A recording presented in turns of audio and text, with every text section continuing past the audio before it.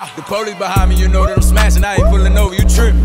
But I ain't trying to talk about police and talk about business. Let's talk about business. What's up, y'all? It's your boy KJ, man. Back with another video. I just woke up from Solitario. Just waking up. Um, thinking about doing a prank today. Another one. I don't know which one to do. So I'm asking y'all, which one should I do today? Because I don't know which one to do. So if y'all can please help me out with that, that'd be lovely. Excuse me. I want to do something funny, real funny.